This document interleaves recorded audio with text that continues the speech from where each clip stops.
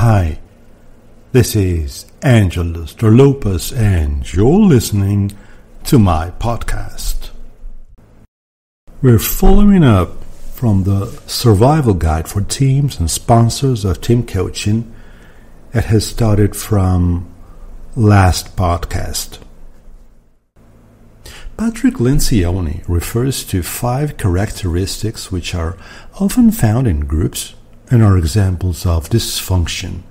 These are lack of trust, leading to lack of vulnerability, fear of conflict, leading to false harmony, lack of commitment, leading to ambiguity, VUCA, avoiding accountability, which leads to low standards, lack of attention to results, leading to key failures and in turn to failure to fulfill the reason for which the team was originally created to bring results in a timely and valid manner.